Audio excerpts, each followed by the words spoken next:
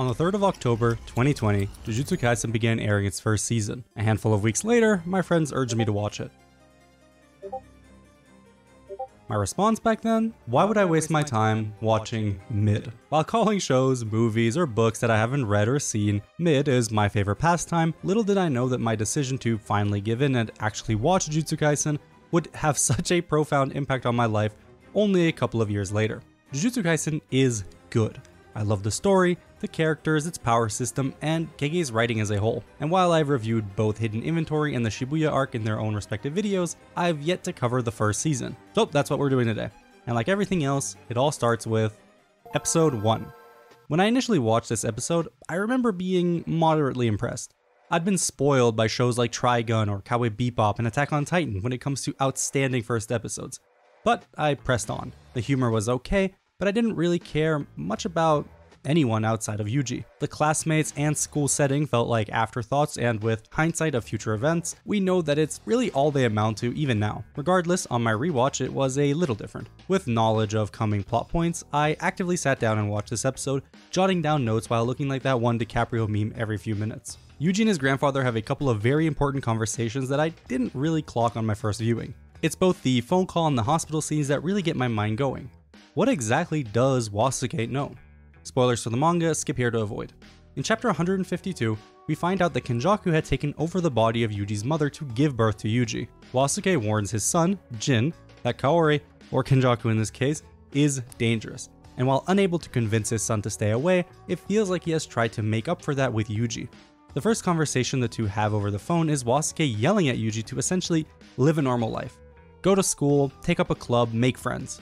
Whether this is his way of keeping Yuji away from the world of Jujutsu, or perhaps making it so that Yuji can experience normalcy for as long as possible before the inevitable, remains to be seen even now. The second conversation, however, kind of points towards the latter. In the hospital, Wasuke tries telling Yuji about his parents, but with Yuji not wanting any of it, he scoffs and reclines back into his bed, turning away from Yuji and giving him something even more important, for better or for worse. You're a strong kid, so help people. Don't expect any gratitude in return, and when you die, do so surrounded by people. On one hand, helping people becomes an unshakable core of Yuji's character. On the other hand, in Shibuya, those words become a curse as Yuji's body is taken over by Sukuna, and unable to do anything, thousands die by his hands. The other two quotes are also notable, as they come up from two different characters later on Megumi during the detention center, and Gojo to Megumi during the final few episodes of the season. Helping people while expecting no gratitude or recognition is both the path and burden that sorcerers must bear, and continue to do so until the day that they die, alone, just as Gojo tells Megumi. Whether Wasuke was a sorcerer himself or simply preparing Yuji for what was to come, it's a conversation that I really hope Gege revisits in the future. On my first watch, this was something I listened to and then moved on with my life. But with added context now, it's taken up most of the time in the video so far. The rest of the episode is good, I like Megumi and Yuji's dynamic early on, and this one sequence in particular had me excited on my first watch. There will be times where you come across something and you can just naturally intuit that it's good for some reason. And this short running sequence was a small glimpse into just what Sunghoo Park was cooking this season. The other standout moment has to undoubtedly be Sukuna. Awakened from his thousand year slumber, the King of Curses, and the name of episode 1, Ryomen Sukuna makes his debut. Looking back at it, Sukuna was much more unhinged on his first appearance. With what we know of his character now, him popping out and just fiending for women and children is definitely a little jarring. But still, arguably one of the most iconic villains in recent times is here, and he's ready to shred the story asunder. On the first watch, 6.5 out of 10, 7 on the rewatch. Episode 2. The previous episode was solid. It had enough meat on its bones to get the theory crafting muscles going, some solid action, and decent comedy that didn't feel overly forced. Episode 2, however, takes the first one's lunch money every day at 8:30 a.m. sharp right in front of the cafeteria door while everyone else is watching. The action is elevated, the emotional impact of Yuji coming to terms with the death of his grandfather hits hard, the top-notch music begins rearing its head, and of course, Gojo Satoru. Gojo is undoubtedly one of the most popular manga and anime characters of today. I might have called him a Kakashi clone back when I first watched the show, but I quickly got backhanded from the sheer aura and swagger of this man. While Kakashi was incredibly powerful in part 1, he wasn't infallible. Gojo, on the other hand, is the pinnacle of his verse and he knows it. His attitude is aloof and irritating, but no one can deny that it isn't warranted. The strongest sorcerer in history has just reincarnated, and the first thing Gojo does is fight him. sorry, completely embarrasses him to show off in front of his student Megumi. This short scuffle between the two is what got me hooked into the first place. Sunghoo Park, director of Jujutsu Kaisen Season 1 and the movie, is an action savant. His direction is always dynamic, and trust me, we'll be singing his praises throughout. While he's not the one to personally animate Gojo vs Sukuna, it still looks amazing. I wonder why. Oh, it's Keiichiro Watanabe. Of course, it's. Anyone that's familiar with my videos knows how much I shill for Watanabe, and you can't tell me I'm wrong on this. While this isn't my favorite cut he's done, I just love how fluid all of it is. From the clothing to the smears and just the snappiness of the motion, you get the picture.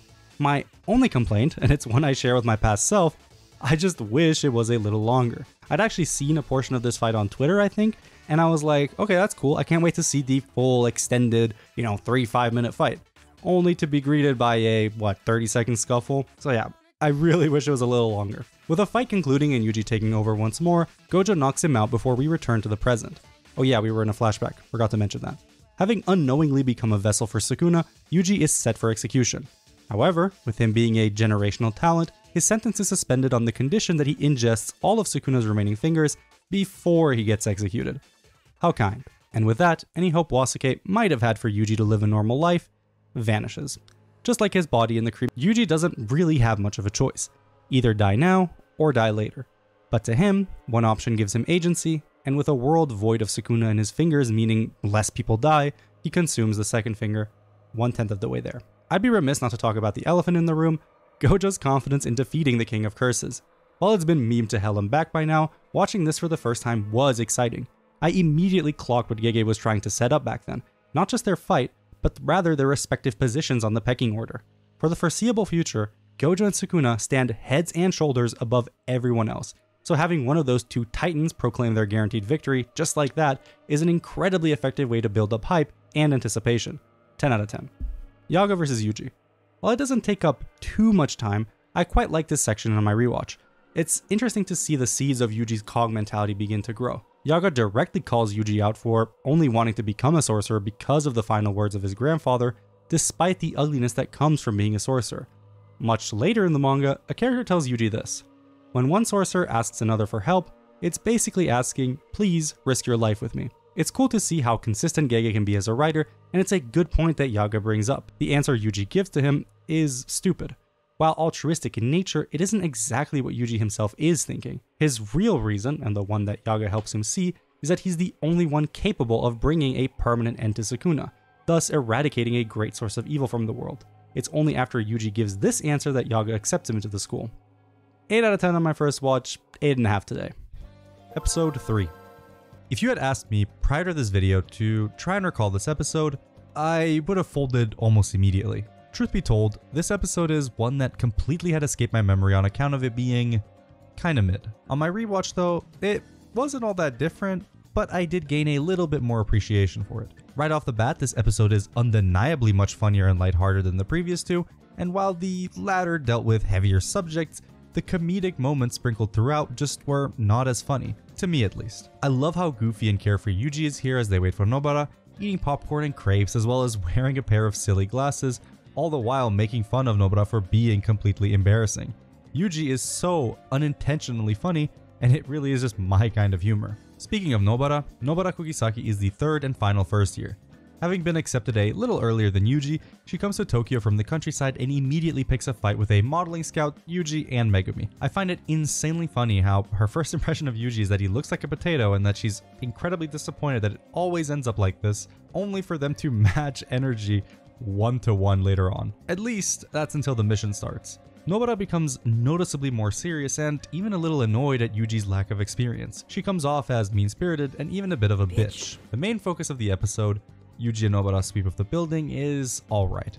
Once again, I love how silly Yuji is, taking the mission super seriously while also somehow being utterly unserious with the constant shas and shashs Meanwhile, Nobara is all business. Wanting to prove that she belongs in Tokyo and not the boonies, she's quick to get this mission done and wants nothing to do with Yuji's antics.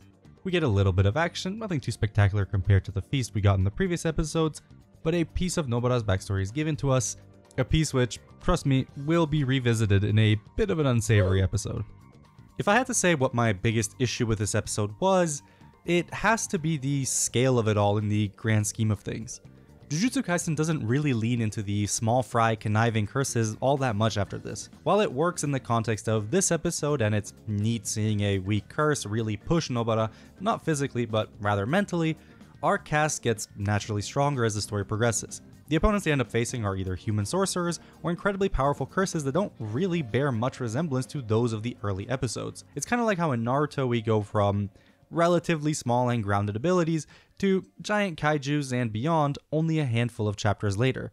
It's not necessarily a bad thing, but it does make it hard to take this little guy seriously when the level of curses explodes only an episode later, and weak curses that prey on human emotions become practically extinct. I think it's why I found this episode a little underwhelming when I first watched it, because off rip, Nobara is an interesting character, but her one moment to shine and look cool is killing this guy. It doesn't exactly leave a strong impression. Thankfully, this does get remedied later on, but I'm getting ahead of myself. The biggest strength of this episode, however, at least to me, has got to be the final couple of minutes. As the gang finishes up sending the kid off, they get to share a nice moment where everyone is having fun. Especially Yuji only for us to cut to black as Ichiji narrates the following. Due to the emergency nature, three Jujutsu Tech first years were dispatched to the scene. One of them died. It's a very ominous setup, and funnily enough, wasn't really that planned out by Gege, but we'll discuss that a little later. 5 out of 10 episodes on first viewing, 6.5 on the rewatch. Episode 4 and 5. I'm choosing to group these two episodes together as they go hand in hand and are part of the Fearsome Womb Under Heaven arc. Jujutsu Kaisen doesn't usually do too good of a job at naturally connecting the arcs one after the other, causing them to be a rather bit abrupt, but in this case I think it works. It captures the ominous tone set by the end of the previous episode and does a really good job at making you feel uneasy. The dark atmosphere, prison setting, and ambient rainfall puts in so much work, and you immediately can tell that something not can go wrong, but will go wrong. With Gojo off on a mission and Jujutsu Tech being so short staffed, three relatively inexperienced first years are sent to an emergency situation. It's a cruel reality of the world that they're in, and it shows pretty clearly why Jujutsu sorcerers die young. Nevertheless, the gang takes the mission in stride and they head inside, only to quickly realize that they're in deep, deep trouble. Side note, I love that Yuji Nobara actually pet the dog. Anytime I see an animal in a game and I don't have the option to pet it, I die a little inside. So it's nice to see those two have such a natural reaction to seeing this little good boy. The inside of the detention center has been taken over by the cursed spirits in complete domain expansion. Check out my barrier video to learn more about this. Knowing what has happened doesn't change the fact that they can't leave from where they once came, and instead have to rely on their good boy to lead them to the exit. It's a tense sequence, and the climax with Yuji and Megumi arguing about bringing back the bodies of the killed inmates is so damn good.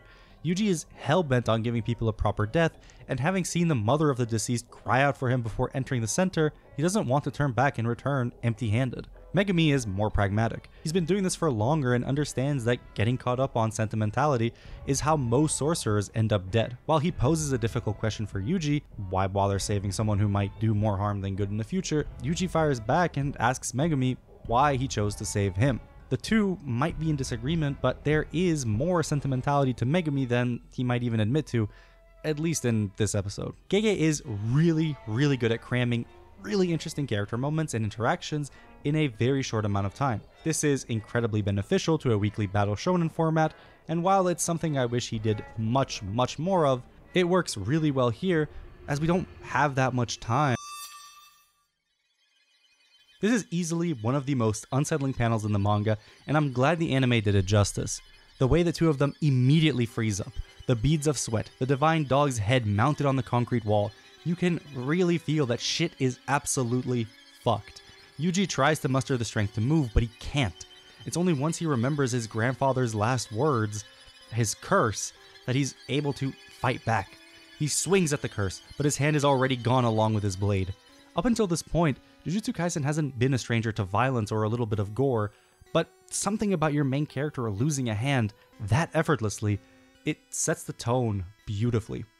Unwilling to help, Sukuna makes it clear that this will never be an inner demon turns good scenario. From now on until the end of time, Sukuna will be Yuji's number one hater and op. Even after Yuji swaps with him, Sukuna still actively looks for ways to make Yuji's life harder. But I'm getting a little ahead of myself. Yuji has been doing this for only a brief moment now, having to face a special grade cursed spirit, unarmed, while also unable to even muster up cursed energy, his very ideals are shattered. He's a strong kid, but that doesn't mean he isn't terrified of actually dying. Regardless, he musters up the courage to stand back and channels his fear and rage into his fist. In your average shonen, the MC would find the strength here to vanquish the enemy. Jujutsu Kaisen isn't your average shonen. The punch is effortlessly blocked. Simultaneously, a howl from Megumi's other divine dog can be heard, and Yuji swaps the Sukuna, and the cursed spirit is quickly dispatched. What elevates this moment for me is that Sukuna is really, and I mean really committed to being a hater. Not only does he initially just pat the cursed spirit on the shoulder, he actively is thinking of a way to best torture Megumi. The cursed spirit doesn't necessarily comply, so Sukuna makes short work of it using true Jujutsu, domain expansion. It's cool to see domain expansion so early on, given how iconic it's become, and with the special grade gone and his arms healed, all Yuji has to do is switch back. Sukuna waits for a second, calling out to him. Then another, then another. An expression worth more than a thousand words, the episode ends. Banger back then, banger today. 10 out of 10. Picking up immediately where we left off, Megumi is seen waiting outside for Yuji to return. Nobara has been taken away by Ichiji, and Megumi is left alone. Before he can even finish a thought, Sukuna appears behind him. The expression on Megumi's face immediately tenses up, and beads of sweat trickle down his face. The special grade might have already been a few levels too strong for Megumi to handle, but Sukuna is an entirely different beast altogether. To further cement his anti-Yuji agenda, Sukuna rips out his heart, effectively holding Yuji hostage and putting Megumi in a pretty bad situation. Okay, I feel like I'm underselling it here. Megumi gets walloped. No matter how clean the art and animation is here, which it really is, I mean, look at it, it can't hide how hard Megumi gets ragdolled around. Keep in mind, Sukuna has access to his curse technique here. At any point that he grabs hold of Megumi, he could simply cleave him. But being in a good mood, he instead opts to toss him through a few buildings, a feat that was amped a little bit in the anime as it doesn't really happen this way in the manga. While the fight is undeniably cool, what I really want to touch on is the conversation that Sukuna has with Megumi. Instead of just trash talking him, he actually commends Megumi in a roundabout way. Had Megumi not ran and instead fought the special grade, Sukuna seems to believe that he could have won. Keep in mind, this is before Megumi even gears up to summon Mahoraga, but Sukuna's ability to recognize talent is one that will pay off both in this season and later down the line in the story as well. On Megumi's front, we get some golden nuggets of character writing as more is made clear about his morals and just reason for saving people. Tsumiki, Megumi's sister, serves as a pillar of hope in his life. She's endlessly kind, and karma, by all means, should have rewarded her. Instead, she now lies in a hospital bed, cursed. His absent father, on the other hand, is out there, potentially living his best life. At least that's what Megumi thinks as of right now. Regardless, Megumi will continue to save good people. Yuji threw himself at almost certain death to save his classmates and a random teenager that he'd never met before. His golden heart reminded Megumi of his sister, and it's ultimately why he asked Gojo to save Yuji. And as he readies himself to summon the Divine General, he stops. Yuji takes control once more, taking his own life before leaving him with the words, Live a long life. Okay, elephant in the room time. How and why does the main character die in the fifth episode? Earlier, I brought up the ominous setup that Gege hadn't really planned out, and this is what I was talking about. Funnily enough, at this point in time in the manga, Jujutsu Kaisen was not very popular and at real risk of being axed from Shonen Jump. Knowing that his manga might end, you know, only after one volume, Akutami threw in Yuji's death as a way to both add a crazy twist, but also a natural stopping point, should the manga actually get cancelled. While the story is funny in retrospect given just how popular the manga is today, I still think the decision to have Yuji die created a very fun opportunity for Gege to explore other characters. Uh, whether he does that or not is an entirely different story that we'll be getting into. Solid 9 out of 10 back then, still a 9 today. Episode 6. Remember when I shilled my barrier video? The episode opens up with Yuji inside Sukuna's innate domain. The pair isn't dead just yet, all thanks to Megumi impressing Sukuna. Sukuna sees something in Megumi, something important enough to offer Yuji a second chance at life, but not without two conditions. Condition 1. When Sukuna chants the word enchain, he gains full control over Yuji's body for one minute. Condition 2. Yuji forgets this binding vow once he accepts. Naturally, Yuji declines and Sukuna adds an amendment. While in control, he can't harm anyone. Still not satisfied, Yuji is ready to throw hands once more, and that eagerness doubles when Sukuna offers him a fight to the death. Unfortunately for Yuji, he can't even control cursed energy, and Sukuna's able to cut his head in half with ease. Back in the land of the living, Gojo is happy to see Yuji alive and well, while Ichiji is a little bit more than just surprised. Gojo's dream is to uproot the corrupt and conservative society of Jujutsu. While he could go out and kill each and every last one of the leaders, others would simply take over their place, and it wouldn't exactly be a good look either. Instead, he turns to teaching and fostering stronger, smarter, and better allies that can one day stand by his side and truly reset the Jujutsu world for the better. It's an admirable goal, and from a writing perspective, I really dig it.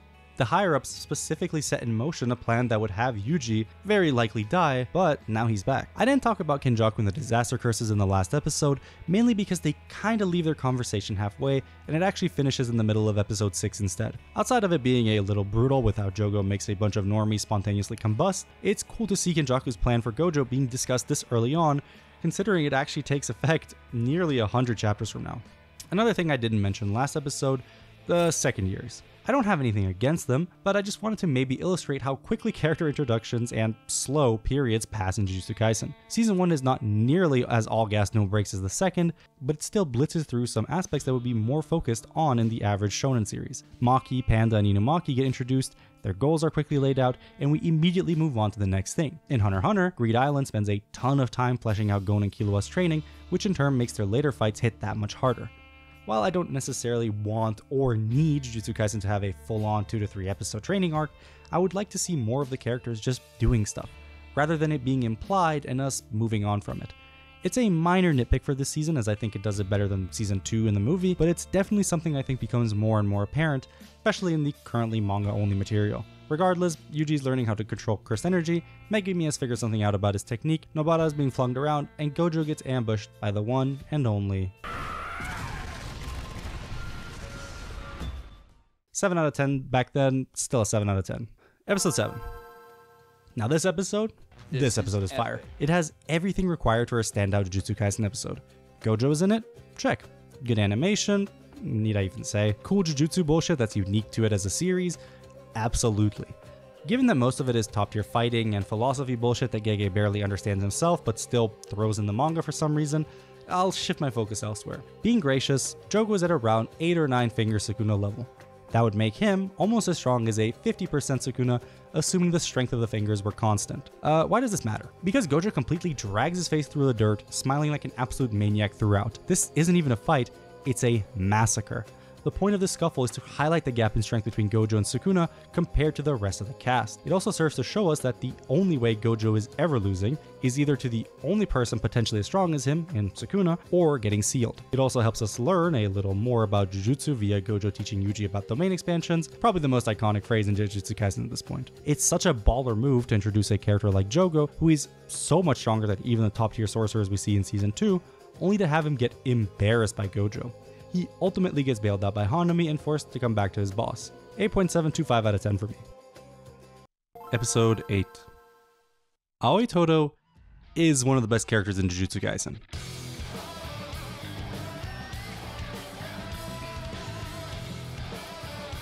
Jokes aside, this relatively normal, exposition heavy episode is amplified and made 10 times better and more chaotic, all thanks to Todo. For fuck's sake, the guy starts the interaction off by ripping his shirt asking Megumi what his type of woman is, and then giving his very own, very based answer before we cut to OP. I mean, this had me floored on my first watch, and it gave me a good chuckle this time around as well.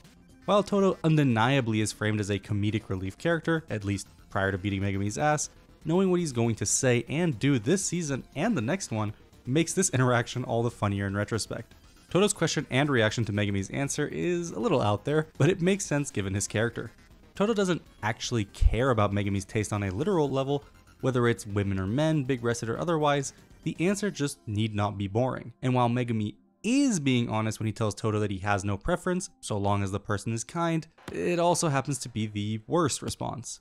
The most boring response. Maya Nobara might be pleased to hear that, but Todo, on the other hand, weeps. He calls Megumi boring, before charging at him and delivering the second most brutal beating that Megumi has gotten so far. Don't worry, we've got a few more of those coming. Even if Megumi isn't going all out in this fight, Todo isn't either. He gives Megumi no opportunities to do anything, up until Megumi gears to summon Mahoraga? To be honest, I really doubt that Megumi was about to unleash the general against Todo of all people. Given that we see totality being used to fuse the frogs with Nue, try saying that three times fast, I imagine the divine dog totality was the next summon. At this point in time, Megumi wants to live and grow stronger because of Yuji's sacrifice, so him dying to kill a friendly sorcerer feels a little out there, even for our favorite suicidal emo teenager. Nonetheless, before he can summon whatever he was summoning, Panda and Inumaki make the save. In retrospect, this scene is kinda hilarious.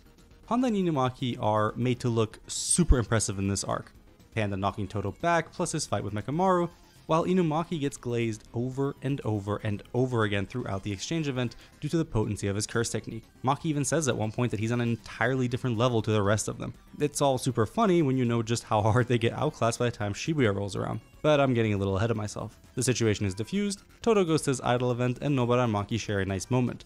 Surely Gregorius Akutami will spend more time on this friendship, fleshing out their dynamic and making us feel like these characters actually like each other so that when something happens to them, God forbid, in the future we cry out in pain and sadness. Right? Gojo's confrontation with Gakuganji is one I liked on my first watch, but I kinda hate it now. The higher ups are a joke and continue to be even within the manga only material. Gakuganji isn't technically one of the higher ups, but he acts on their orders, so for all intents and purposes, he's their stand in this season. And while it makes sense that Gojo is practically immune to their bullshit, it's hard to take someone like Gakuganji seriously when he's barely Juzo level. So whenever he's framed so menacingly, I can't help but laugh a little. What is meant to make me laugh, however, and does a good enough job, is Miwa's attempt at being serious all the while internally fangirling over Gojo. And the conclusion with her actually getting her selfie is neat. Gojo's such a fun and silly character when it comes to interacting with those around him, so it's a real shame that we don't get to see more of the side of him. The question now is, how does Gege transition from this episode to the next arc? A one month time skip. You see where I'm coming from? Eight and a half back in the day, seven and a half today. Episodes 9, 10, and 11. I don't like Junpei.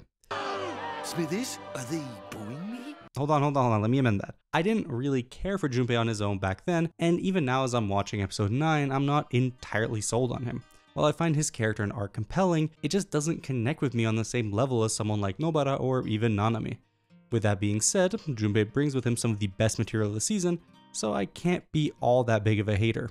I love that his current situation mirrors that of Yuji's, whereas compared to him, Junpei's already near the bottom. His friends don't have the same backbone as him, his bullies are evil, and even the adults in his life sit there and let it all happen to him.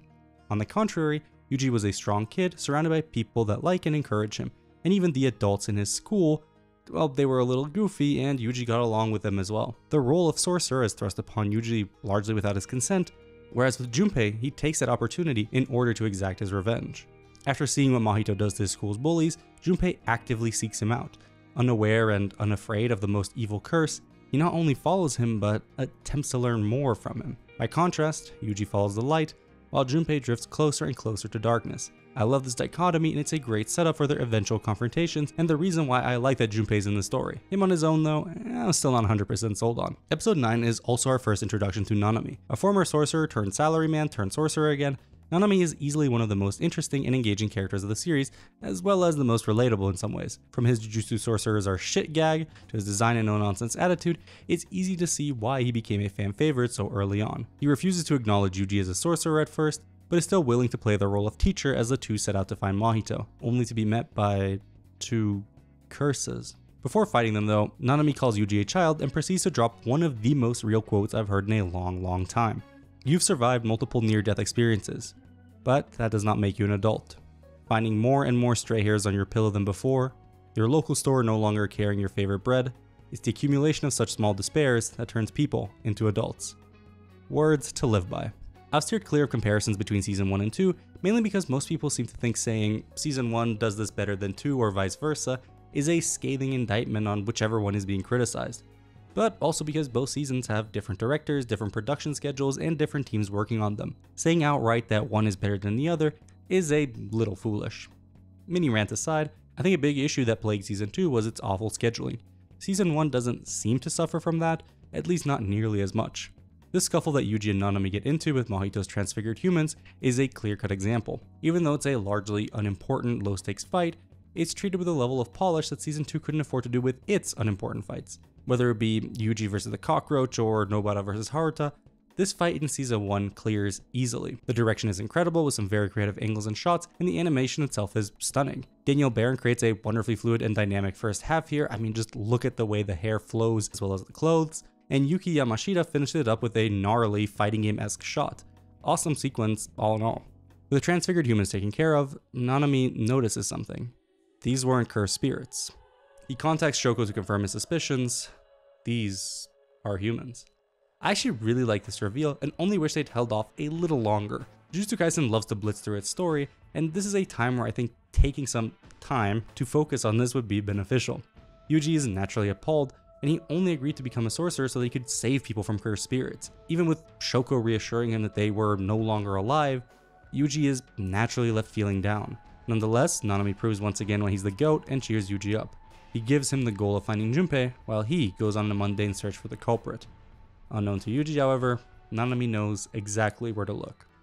The opposite of love isn't hate, it's indifference. This is a quote that Junpei has an issue with. Funnily enough, Gege also seems to have a problem with it. In the volume extras, Gege recounts a story wherein his editor informs him that this quote was in fact not said by a Japanese person. If you've only ever seen the anime, this might raise an eyebrow for you.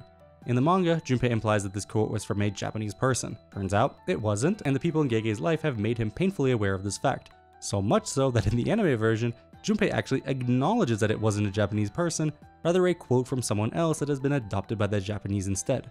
Does it matter? Eh, not really, but I felt like making fun of Gege for a moment. The origin might not matter, but the meaning behind the quote does as it pretty aptly describes Junpei.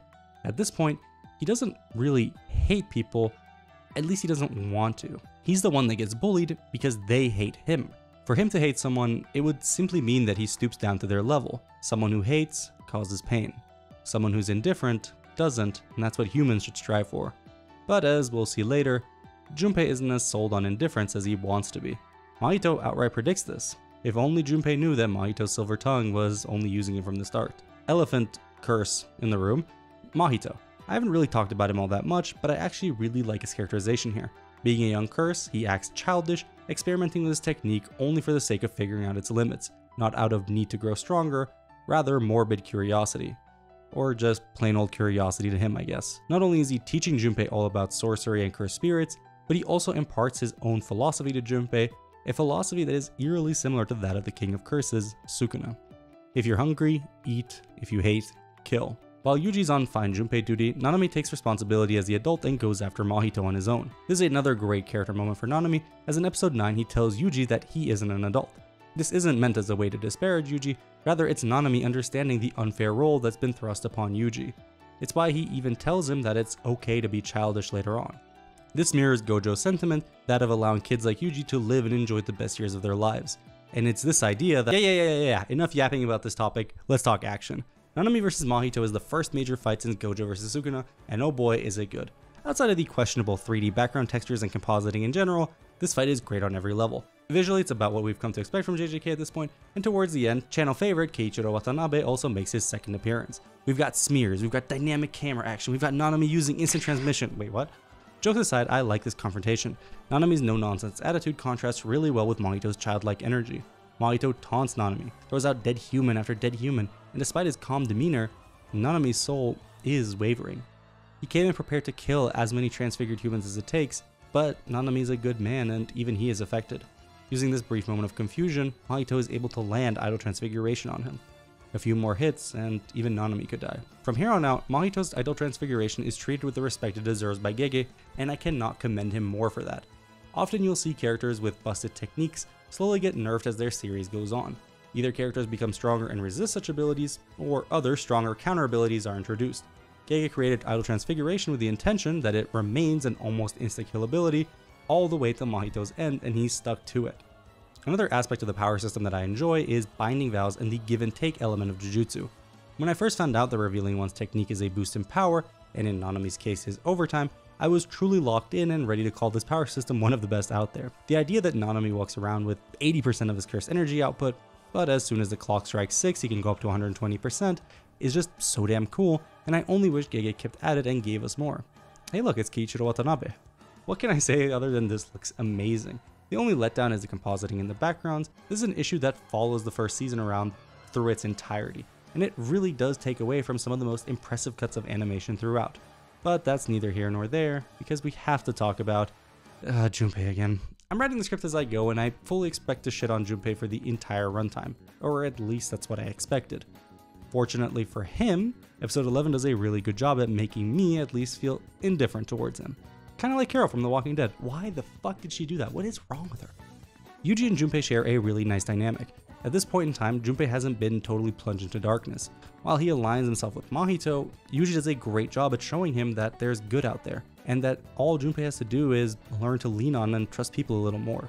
Seeing his mother have a great time, it puts Junpei at ease, and after having a truthful conversation with Yuji, he's likely ready to give him a chance, just like the opening suggested. He goes to bed that night, peacefully. Yubi? Someone had left one of Sukuna's fingers behind, attracting a curse directly towards Junpei's mother. Naturally, she perishes. Mahito's the first one there, consoling Junpei while simultaneously fanning the fire of hatred within his heart.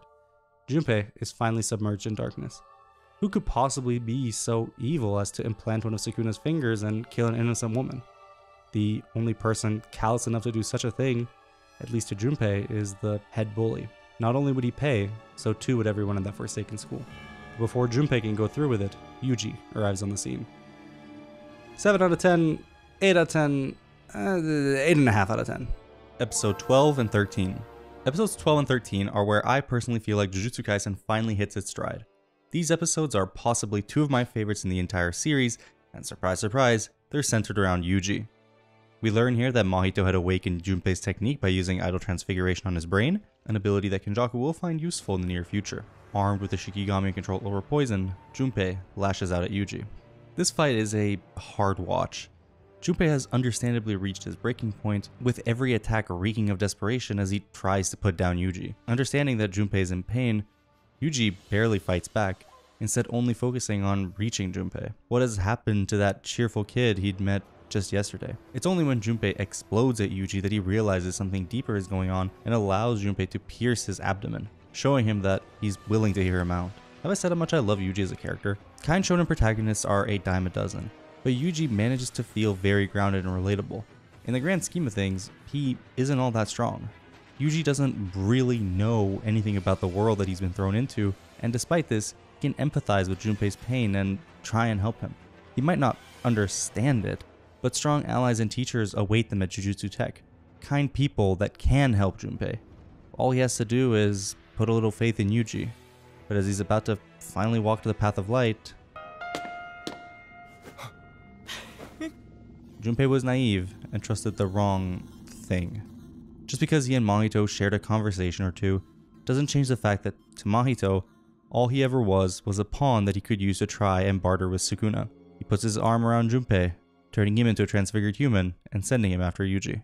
This scene was a rough watch, and it's simultaneously the reason I didn't like Junpei, but also the reason I liked Junpei. Look, let me try and explain. I love this scene because of how dark, brutal, and helpless it is. It perfectly encapsulates what Jujutsu Kaisen is. There is no hero moment where Yuji will save Junpei, and Junpei won't awaken and fight back, nor will he even continue to live as whatever he is. Hell, he even keels over only a handful of minutes later. It's also why I don't like it though. It's a very grand moment that, once again, I feel like I've been saying this a lot, I wish Gege had taken more time to explore. I think anime wise, at least another episode where Yuji gets to interact with Junpei would have helped tremendously. Because while I do feel bad for Junpei, it's hard for me to connect with the relationship between the two when they've spent one day together. Too long didn't read. Junpei's a solid character, and this is a fitting and dark end for him. I just wish it was a little better though. This next part, this next part's a 10 out of 10. With Junpei transformed to a Pokemon, Yuji's left with no options. No questions asked this time, all he wants from Sukuna is for him to cure Junpei, and just when you think that he'll jump on that opportunity with no strings attached,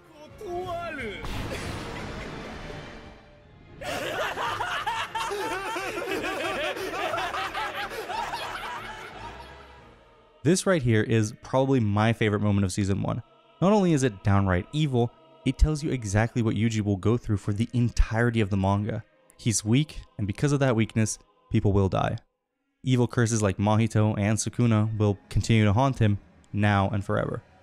Also, just props to the voice actors in both the sub and dub for this scene. They absolutely nail it, and it's half the reason why I find the scene as good as it is. 10 out of 10. The following episode is all gas Enraged by Junpei's untimely death, Yuji goes ballistic against Mahito. Pain means nothing as he's lacerated and bruised by Mahito's ever-shifting form. Yuji only moves forward, landing blow after blow that, on the surface, seem ineffective, but his unique situation with Sukuna allows him to directly strike at Mahito's soul, making Yuji Mahito's worst possible matchup. Despite his rage boost, the sheer difference in strength between the two is apparent, and Mahito manages to use Idol Transfiguration on Yuji. Big mistake. Gregory Akutami runs a much tighter ship than people give him credit for. Yuji being weaker than Mahito makes sense.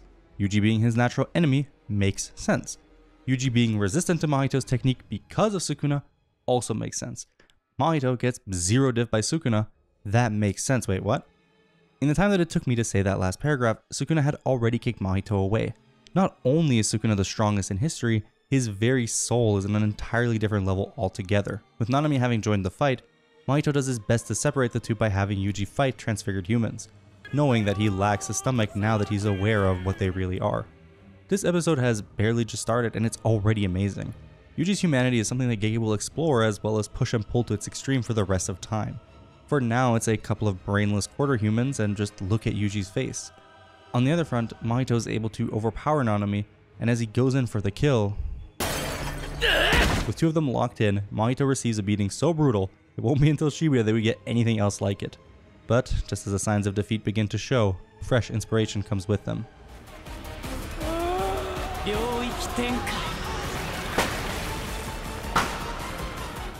Mahito's exponential growth has been something Nanami was worried about, and now his fears have become a reality. As viewers, we've seen this same progression. From his experimentation on humans, him learning to set up veils just a little earlier, and his constant growth within this fight itself, Mahito's self-embodiment of perfection was the natural next step and was done justice in the anime. I can't even begin to describe to you just how hard hands are to draw. I mean, go try it. But Hironori Tanaka is just not human and is able to create this absolutely outstanding cut that features a handful of hands, ha, all in different angles and motions, and it just comes out gorgeous. I love good animation, and this is some great A stuff. Why is it always a sad backstory when a character faces imminent death? Given we know that he survives this, fuck you Gege for the heart attack. Nanami's story for why he even came back to Jujutsu is poignant and fantastic. It paints such a real image of Nanami. He left the Jujutsu world behind and distracted himself with a job that he hated day in and day out, all for money, money, money, and more money. With enough money, he could live a life away from curses and other people, but a random act of kindness he does to a bakery clerk reminds him why he even was a sorcerer in the first place. Curses, weak or strong, will continue to exist and make life worse for people. Helping people is why he became a sorcerer, and now it's the reason why he came back. As we learn in Shibuya, if he can foster stronger sorcerers, the mistakes of the past won't repeat, and fewer and fewer young sorcerers will end up the same way as Haibara did. Just as the hands of Mahito's domain close in, Yuji crashes into the domain, putting himself in danger, but also bringing with him true evil. Sukuna is an absolute treat this episode. A line that was missed in the official translations of the manga and dub of the anime, the Buddha saying, Throughout heaven and earth, I alone am the honored one, is used to reference Sukuna. A cool detail that I think makes this scene hit that much harder in retrospect, and also makes Gojo's very own version better as well. Having shared a laugh at Yuji's expense earlier, the first transgression from Mahito was easily forgiven. Attempting to touch Sukuna's soul a second time, however. Once again, Mahito's technique is rendered useless, but this time, Sukuna didn't let him off without injury, causing his domain to fall and giving Yuji a chance to counterattack.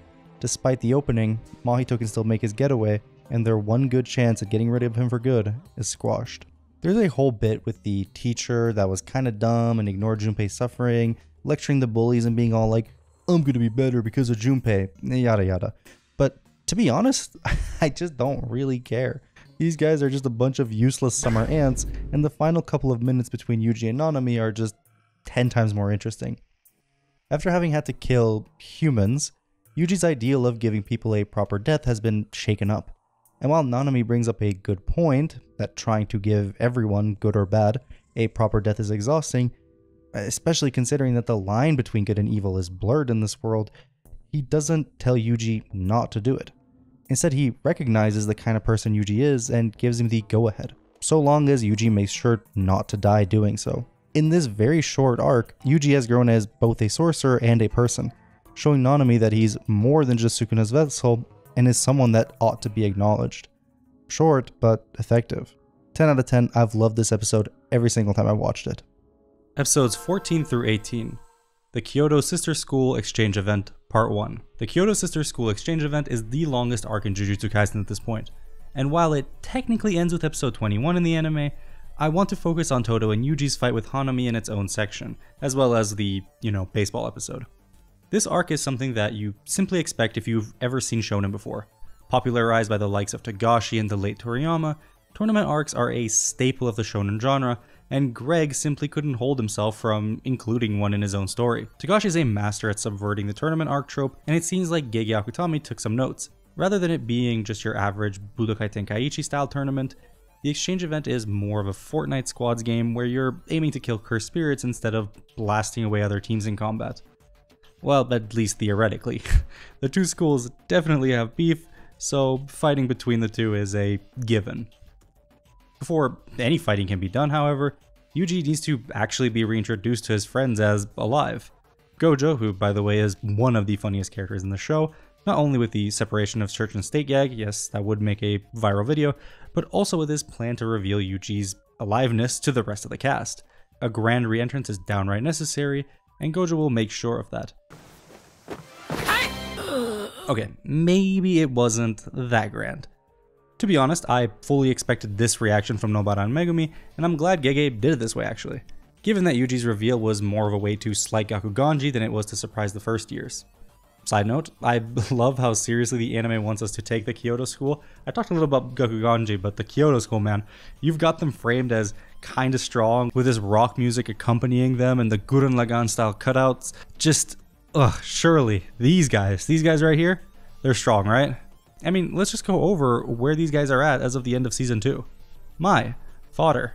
Momo, also fodder. Kamo, fodder. Mechamaru, kind of a goat, but dead. Todo, the goat, but is injured. Miwa, fodder, top of the verse. Yeah, not exactly an inspiring bunch of individuals looking back at them now.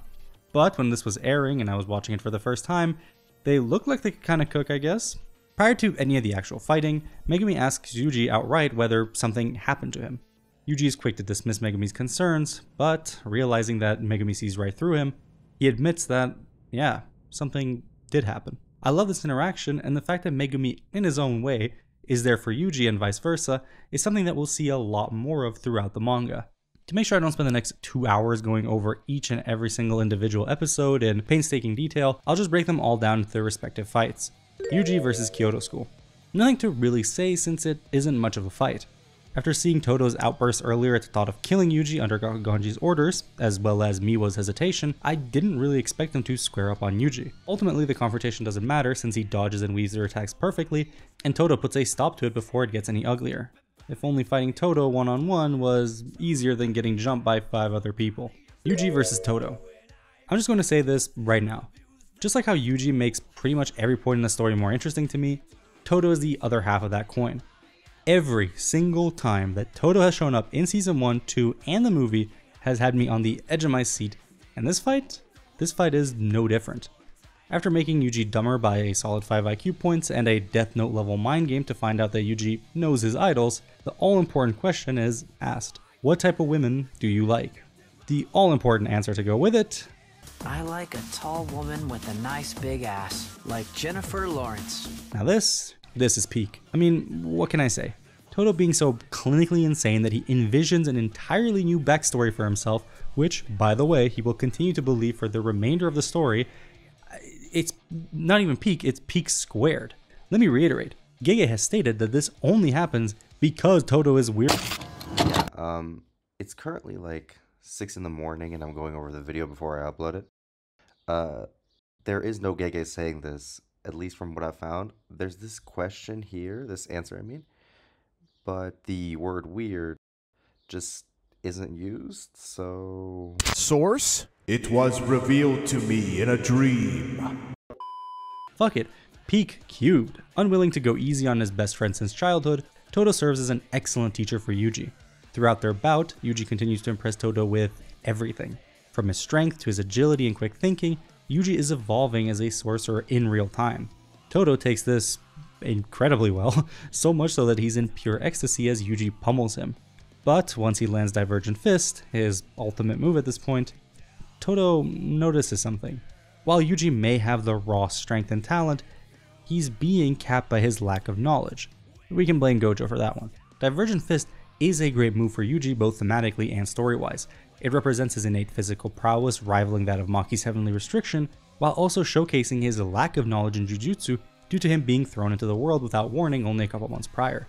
The move might allow him to reach the heights of a stronger than average sorcerer, but to reach the realm of the truly strong, he needs Todo's guidance. How can you not love this fight and this brotherly duo as a whole? Maki vs. Miwa. Short and sweet, this is a wonderfully animated bout that showcases Maki's overwhelming physical prowess. Miwa also has a great showing. Kind of. I I love that she acknowledges her uselessness and her reasons for becoming a sorcerer in the first place are so real, kind of like Nanami. What I found most compelling here is actually Maki's ranking as a sorcerer in relation to her skill level, which Miwa makes a note of. She effortlessly weaves around the polearm in cramped areas, is resourceful enough to break her weapon in half to create an opening, and also a monster in close quarters. Yet she remains in grade 4 as part of her misfortune in being a Zenin. Surely we'll get a lot more of information and focus on the Zenin clan and Gargoyle Akutami won't have them show up only for a brief moment here and there, right? Right? Maki versus Mai. This one isn't much of a fight. Mai is just outclassed in every single way. Despite having a curse technique and Second Amendment rights, Maki beats her without much difficulty. Even the secret 7th bullet in her 6 shooter gets blocked. Mai vs. Maki was never meant to be a flashy fight. It still is because the talent that worked on JJK is absolutely bonkers, but the real fight is the emotional one. As we find out more about Maki and Mai's past, her hatred for Maki begins to make a little more sense. Mai's hatred toward her sister is an irrational one, but I don't think it's one directed at Maki personally. I'm cheating a little here by looking into the future of the manga to confirm, but what Mai hated was Maki's actions and the role that was forced upon her because of it. Being born as women in the Zenin clan with no inherited techniques practically sealed their fate. The only options were to either live within the clan, performing chores and other duties, or to leave, being ever tormented by the chokehold the Zenin have in the Jujutsu world. Maki made her choice a choice that was true to herself. Her constant thirst for growth as a sorcerer and desire to stick it to the Zenin clan meant that Mai had to follow suit. But Mai can't be like Maki, and her weakness and desire to remain at the bottom is at odds with Maki's, causing Mai to resent her sister. But again, Maybe I'd be cheating if I said a little more. I also just love the imagery for their first flashback here, and the moment of the twins crossing the bridge with Maki leading the way as she can't see curses is incredibly powerful. After all, if you can't see them, they might as well not even be there. Panda versus Mechamaru.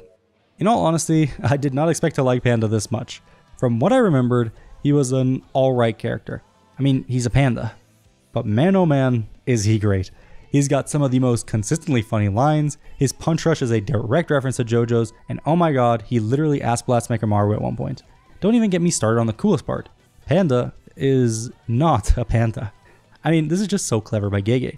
Panda being, well, panda, is something that is told to us over and over and over again. It's even in his character introduction extra. So to flip that on its head and reveal that it's actually a panda and two not pandas is such a fun twist that also gives Panda a wide arsenal of interesting moves. From the balanced stand rushing panda form to his goblin gorilla mode that does internal damage, this fight is surprisingly well done. Visually it's about on par with the previous one, but the added abilities that Mechamaru has allow for some really cool effects work that just looks fantastic. Speaking of Mechamaru, Mechamaru stole the show for me here. I must have made the joke that his voice actor plays the role so well you'd think his rent is due the next day, but man, he must have been 200,000 yen in debt to Loan Shark since day one because Yoshitsugu Matsuoka really puts on a show here as well. Matsuoka, you are not in Dragon Ball, you can relax. It is a solid fight all in all, and having Panda be the one that helps Mechamaru get out of his cursed corpse racism phase was a great choice. Not Panda is actually a panda, so the ways in which humans act around each other doesn't really compute with him. All Panda wants to do is get along with Mechamaru and meet up with the real one. And when Mechamaru tries to push him away one last time, Panda makes it pretty clear. He's just a panda, bro. It ain't that serious. This is what makes tournament arcs so enjoyable and why they've become a popular trope. The matchups that are chosen aren't and shouldn't be done at random. Goku vs. Piccolo Jr., Gon versus I forgot to fucking write his name down. Oh my god, what was his name? Gon versus Hanzo, Naruto versus Neji. Every single one of these fights has a story to tell, and putting two characters that are at odds with one another is a great way of creating an exciting and fulfilling match. Panda is a cursed corpse, able to walk around and enjoy life, while Mechamaru is a human that's been forced into a life he doesn't want. Confined to a basement for the rest of his life, unable to spend any time with the people he holds dear. His resentment towards Panda makes sense, but at the end of the day, his shitty situation doesn't give him carte blanche to be this much of a dickhead, especially towards people or pandas that are on his side. Panda wins the physical fight, symbolizing that he also won the exchange of ideals as well. Nobara versus Momo. Probably and possibly the most underwhelming fight of the series so far. Momo kinda sucks, and Nobara being worried about branches and rocks being flung at her is insane when you consider what Panda just withstood a few minutes ago. Thankfully, Nobara's speech and subsequent squeaky hammer bit saved the fight for me. When this episode dropped, I think the entire anime fandom watched it and could agree on one thing. It was cool that a female character like Nobara existed. Where are they all now? Megumi versus Noritoshi. Oh look, a fight where a ton of cool lore is hinted at with the Zenin and Kamo clan. Surely Gaddafi Akutami will delve into the eternal politics of the Jujutsu world, thus giving an easy way for Kamo to be naturally included in the story going forward. Right? Jokes aside, well, not really jokes, but this fight is alright. I like that the Jujutsu techniques felt a lot more grounded up to this point. I mean, barring Gojo and the rest of the top tiers, of course. Like, all Kamo does here is jack himself up with performance enhancers, and I remember being like, damn, that's actually so cool. Oh, how naive I was. They don't really get the chance to fight all that much, nor do they show off their strongest techniques, as their fight gets cut short by Hanami. It was an alright exchange, I guess. Now, Hanami.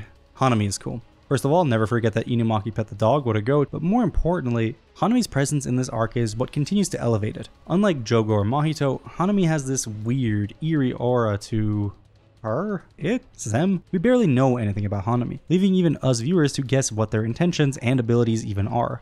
Also, when Gojo calls himself Great Teacher Gojo, I have no doubt that this is in reference to Great Teacher Onizuka. Fun fact, Gege's favorite anime OP is GTO's second OP, Hitori no Yoru. Side note, look at the way Kamo reacts to Megumi and Inumaki talking to each other by the way. Yeah, me too buddy. Episode 19 and 20. These are two of the big ones this season. Keiichiro Watanabe, please fuck off, I'll talk about your contributions in a minute. Picking off exactly where we last left off, the ragtag team of Megumi, Inumaki, and Kamo are shit out of luck. A veil has been cast that keeps away the one get out of jail free card that they've gotten Gojo, and Megumi's iPhone XS Max gets dusted before he can even dial Gojo. The combination of Megumi and Kamo's attacks can't do so much as scratch Hanami, leaving it all up to Bonito Flakes himself. So far into the event, Inumaki has barely gotten to show any of his strength. His mere existence is a constant threat to the Kyoto school. Hanami on the other hand doesn't feel that same pressure.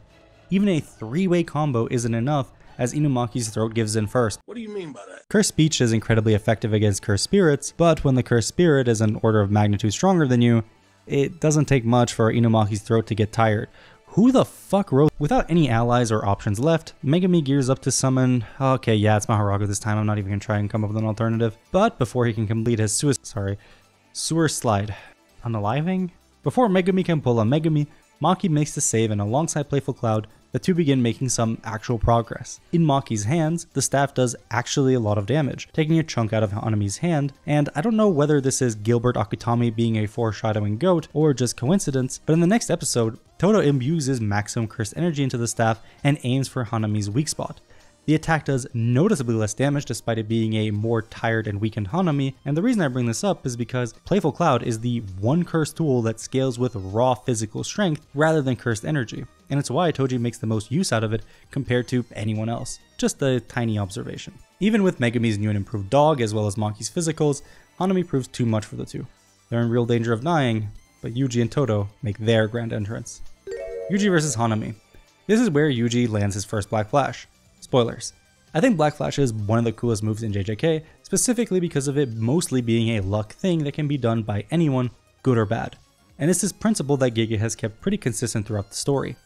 Yuji is unable to use it at first due to his mind wandering and his emotions being all over the place because of Junpei, but a slap in the face from best brother Todo and a small pep talk later, and Yuji is in full focus mode and is able to finally land it. I love the cooking analogy Todo uses here, and he continues to prove why he's one of the goats in the show. Crazy to think that this was only the beginning. Yuji and Todo versus Hanami. Jumping is defined as to attack or pounce upon without warning, as from ambush. The act of jumping an enemy is a Jujutsu Kaisen special, and I can count on one finger another fight in the series that can match the jumping received by Hanami in these two episodes. Yuji and Todo versus Hanami is probably the fight that put Jujutsu Kaisen on the map, and it's not a surprise that a full feature-length movie and second season later, it remains as a top contender for best fight among fans.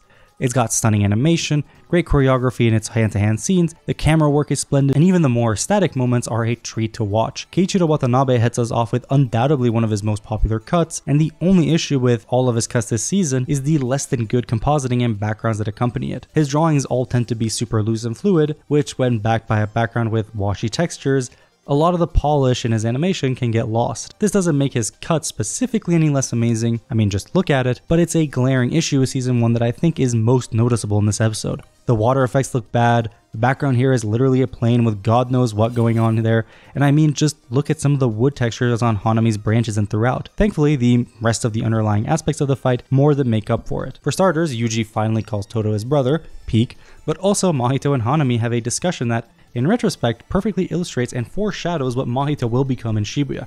He tells Hanami to rely more on instinct, the instinct of a curse to kill. This manifested Mahito fully understanding the true shape of his soul in Shibuya, and for Hanami, enjoyment and fulfillment in battle never felt before. Boogie Woogie is top tier. Top tier in what? Literally everything. The name, the activation, the ability itself. Swapping abilities in Shonen tend to feel either underutilized or too overpowered to the point they get written off, one way or another. Boogie Woogie I think strikes a really good balance at making it strong, but also fair. Todo spams the ever-living shit out of it, but it doesn't stop Hanami from adapting. There's clear rules and conditions, but Todo omits them in a clever way that works out 10 times better for Jujutsu Kaisen than it ever could in another series. With abilities getting buffs when explained, Todo revealing his hand to Hanami early is what allows the later bluffs to work flawlessly. Hanami assumes that Todo is telling the truth, and he is, but by virtue of being truthful, he's also being deceitful. It's such a great twist on the technique that makes it feel truly unique, despite it being a wildly popular choice for the shonen genre. If all Todo had was Boogie Woogie, I think it would make for a pretty lame reveal. Thank god Todo also happens to be the smartest character in the show to boot. The 530,000 IQ galaxy brain that he possesses is a funny gag, but the fact that he can actually back it all up is what really seals the deal. Todo's analytical ability is in such stark contrast to his looks and a subversion that makes him all the more interesting. And don't get me started on his meth-induced dream sequence where he figures out the weakness of Hanami's curse buds. It's downright ridiculous, but so on brand at this point that just like JoJo's, I've never once questioned it. What I have questioned, however, is who the hell is asking Nanami about his Black Flash record and then relaying it to us? I know canonically it's Ino, but the fact that Gege is such a Togashi fanboy and that he'd reference Hunter Hunter so brazenly is commendable. I've always found this trope very fun. It adds a certain charm and hype to any given sequence that's different from a simple narration. Regardless, Nanami's record of four consecutive Black Flashes is tied by Yuji as he tears into Hanami a sight that has Todo tear up, reminding him of the other time that his boredom got flipped on its head. The time he met Special Grade Sorcerer Yuki Tsukumo. Surely we'll learn more about Todo and Yuki's dynamic in time together. Gege isn't the type to off-screen that, right? Back against the... trees? Hanami charges up. Todo's technique is troublesome, but there is a way around it. Domain expand. This was straight up divine when the episode dropped and had everyone on Twitter buzzing about it. But to be honest, with Hidden Inventory making Gojo's Purple the cinematic masterpiece that it is, going back to this mess of 3D effects that kinda meshed together was a little tough. Nonetheless, the day is saved, and all that the school lost was a handful of Sukuna's fingers. Surely there won't be irreparable damage caused by them in the future. 10 out of 10, easily, both times. I feel like this goes without saying. Episode 21. Filler episode. I repeat, filler episode. Okay, but not really. This is actually one of the most fun to watch episodes, and I've been looking forward to it since the start of my rewatch. I love the inherent goofiness in it, and it really gives off that same energy as the Dragon Ball driving episode. What, you thought I'd compare it to the readily available and more fitting baseball episode from Dragon Ball Super? Well, Super sucks donkey dick.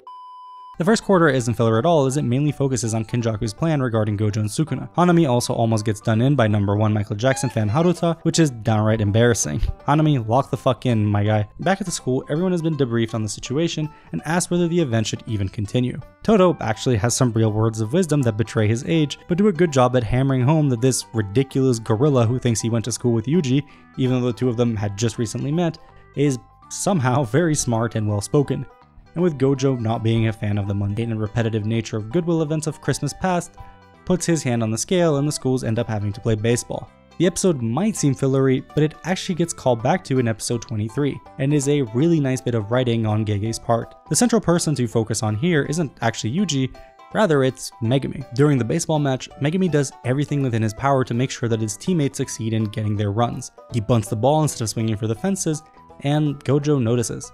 It's a brilliant but small piece of writing that shapes who Megumi is as a character for the remainder of the series thus far. The rest of the episode is hilarious with some of my favorite gags, both visually and otherwise. The flavor text, for example, is so underappreciated. Miwa was saving a mango only to have it stolen by someone. A little later do we find out that Mai had just recently started liking mangoes. Panda wants to punch a fucking zebra. How is that not the funniest thing ever? And Todo's delusions follow descriptions as well, with him and Yuji having made it to the Nationals, but Itadori denies this. Who the fuck is asking them these questions, by the way? And man, Todo getting knocked out by Maki's pitch, only for everyone, and I mean everyone, laugh at his misfortune is comedy gold. Even Megumi's divine dog can be heard barking alongside everyone. A great and necessary episode that helps us unwind from the incredibly gloomy and intense episodes of past. I only wish Jujutsu Kaisen did this more often. 8.5 out of 10. Episodes 22, 23, and 24. Once again, we abruptly jump from one arc to the other. This time around, though, I don't really mind it since it's the gang going on their first group mission since the detention center. This three episode stretch is incredibly strong and features some of the best elements of JJK here and for the foreseeable future. So, apologies in advance for the Kenjaku tier yapping session that awaits you. This last three episode stretch, to me, feels like what Jujutsu Kaisen is at its best.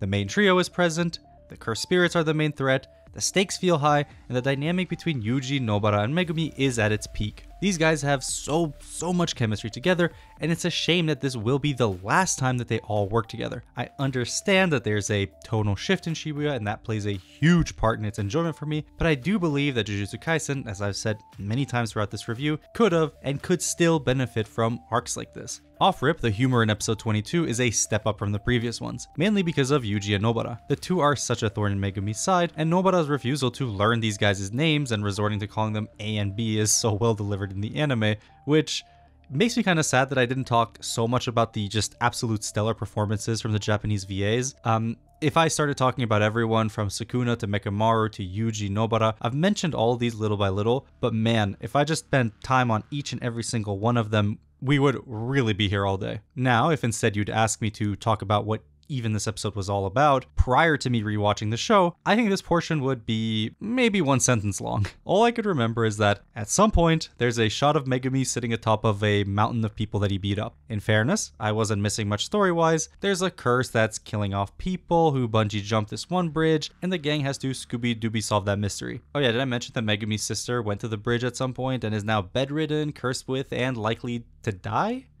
Oops, my bad. The situation has completely changed, and something must be done ASAP. Wanting to resolve the matter himself, Megumi sends Yuji and Nobara away as he heads to the bridge. Despite them having been there earlier in the day and nothing having happened, Megumi figures out the requirements for the curse to trigger. Fully expecting to do it alone, he doesn't even notice Nobara and Yuji sneak up on him. Again, these guys have really good chemistry. They understand Megumi fully and will support him no matter what. And when he does feel like sharing whatever is bothering him, they'll be there to listen as well. I love, love, love this trio so much. Surely Genghis Akutami will continue to further develop. The Cursed Spirit is a whack a mole. While annoying, it seems all too easy. Until Kechizu and Eso decide to show up, forcing Nobara and Yuji outside the barrier and leaving Megumi alone against the mole. Megumi versus Mole. Megumi effortlessly wins. What? I know the meme is that Megumi is a bum, but come on guys, have a little bit more faith in him than that. Megumi versus Special Grade 2, Electric Boogaloo. You'd think that with a name that means blessings, Megumi wouldn't manage to draw the short end of the stick every single time, right? Given how outclassed he was the first time around against the Finger Bearer, if you had any hope for him when you first watched the show, I commend you. This Finger Bearer is much stronger than the first, and while Megumi is able to block and dodge for a while, the gap in power is just so large that he gets knocked straight into a flashback. When I said that the baseball episode was important, this is what I meant. Megumi's decision to bunt the ball is one that can make sense and might even seem noble, but in the world of Jujutsu, sometimes being selfish is the correct move. Gojo and Yuji are characters who always swing for the fences, facing each challenge head on. Yuji quite literally hits a home run, so I don't know how much clearer a picture Gege could paint. Megumi, on the other hand, is too timid. So long as he's got Mahoraga under his sleeve, he doesn't really need to ever be selfish and rely on his own strength. Opponent too strong, summon Mahoraga. Opponent too weak, summon Mahoraga. Stubbed your toe on the same corner 1, 3, 7 too many times, Mahoraga. So long as Megumi tries to win by dying, he will never reach the heights of Satoru Gojo. Sukuna likely saw something similar in Megumi, his technique is powerful and he has the talent, so why did he run away from an inferior opponent? It's only after these words circle Megumi's mind that he finally understands. Mahoraga pose no longer shall be his default state of being, it's time to truly Jujutsu that Kaisen.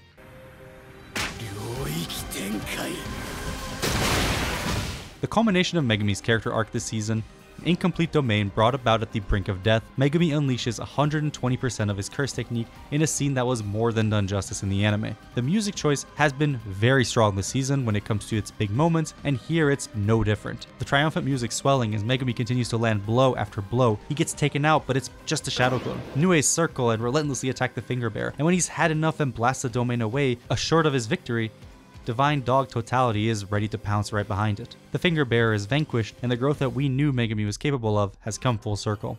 The rest of the episode centers around Megumi and his relationship with Tsumiki. This flashback also recontextualizes a few things about Megumi, which I find pretty cool. Old Megumi would have probably summoned Mahoraga and Yuji in episode 1 without a second thought.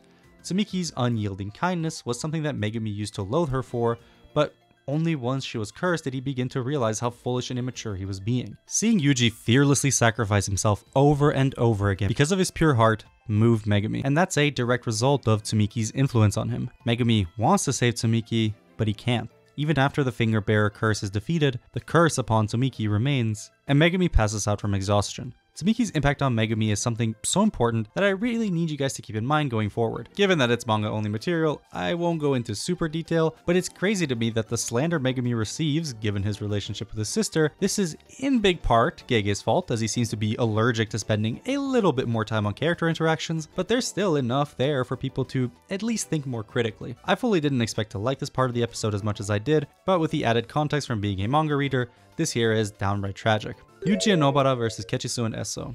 During episode 3, I said I'd cover Nobara a little later. It's now later. This is by far Nobara's best and most impressive performance to date, and likely the reason she had so much hype and hope going for her when season 2 got announced. The first mission that Team 7, Yuji, Nobara, and Megumi take on has them completely outclassed and traumatized. By the end of the season, their growth is outwardly shown by Megumi dusting the stronger Finger Bearer, with Yuji and Nobara both beating two special grades in Eso and Kechizu. Eso even has a maximum technique for some reason.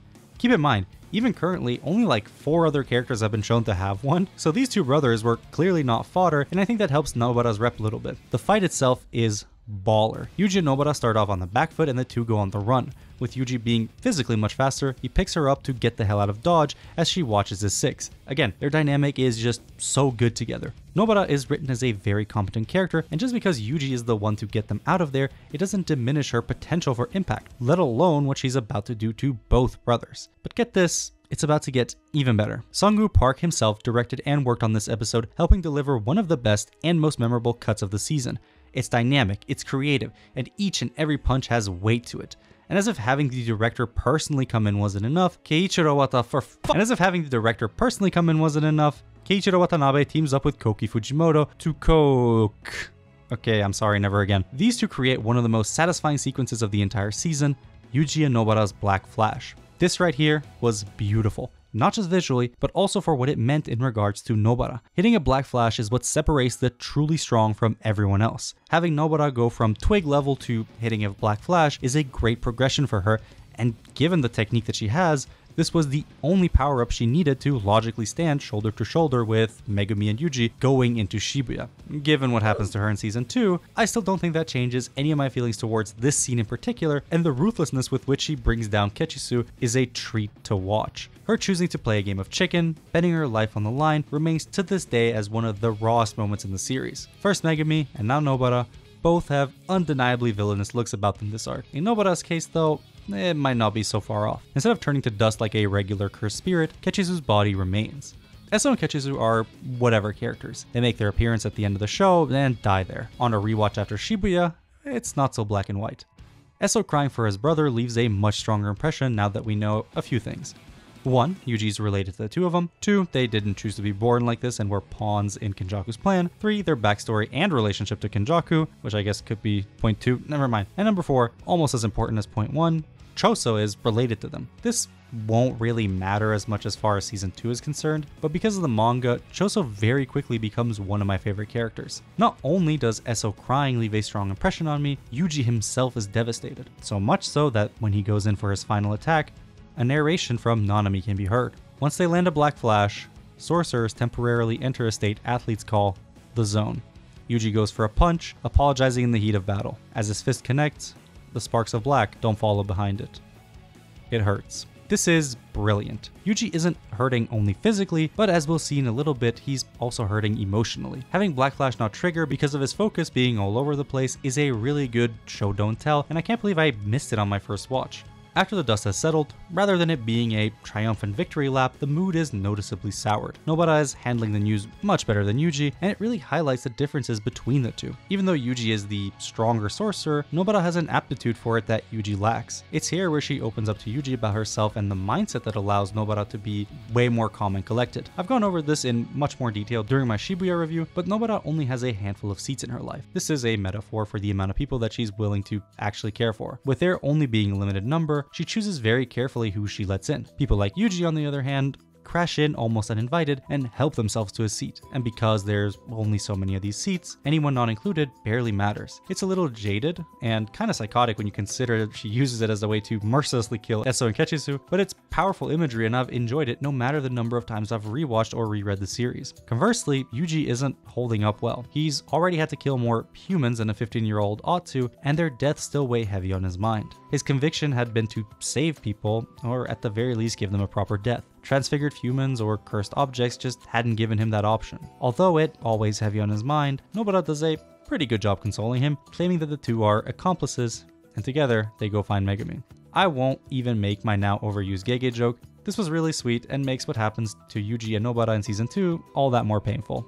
The rest of the episode focuses on the aftermath. Megumi doesn't want Yuji to know that Sukuna's fingers are resonating, likely causing all this death around them. Nobara agrees to not tell him, but don't worry, Sukuna has that covered. Needing to get one last shot in before the season ends, he taunts Yuji about his goal to save people. So long as he harbors Sukuna, all those people that he wants to save will be in constant danger, and trust me, we'll see plenty of that in season 2. I mean, we've technically seen it by now, but you get what I'm saying. I've talked about Sukuna being the one true hater, and Gege seems to be in agreement. Sukuna and Yuji will never see eye to eyes, and working together, Nine-Tail style, is less likely than Boogie 2988 having cancer. After Todo and Meimei recommend Maki, Panda, fucking Panda by the way, how did he get in there? Megumi, Nobara, and brother Yuji for grade 1, we cut to the three of them talking about a mission. I wonder if this mission that Megumi mentions is the same one that he talks about at the end of Hidden Inventory when they're all in Gojo's office. For the sake of the video, I'm gonna pretend it is, so roll with it. Megumi's phone buzzes, it's Gojo. A new top secret mission that they must undertake, where the previous ones were shrouded in dread and darkness. This one will be better. Megumi, Nobara, and Yuji have become stronger, and it's finally time for a new dawn. When I jumped on this rewatch, I wasn't exactly sure what to expect. Jujutsu Kaisen is rewatchable, sure, but I didn't think it would ever match something like Attack on Titan. And it doesn't, don't get me wrong. But that isn't to say that Gege Akutami doesn't have a concrete vision for the story. On the contrary, this rewatch has shown me that, for all the criticisms, fair and unfair, Gege does know at the very least what he's doing, and this has me excited for the remainder that the series as a whole has. I wholly recommend you watch not just this season, but both the next and the movie. And if you want to hear more from me, check out the Hidden Inventory and Shibuya arc reviews. Thank you for watching.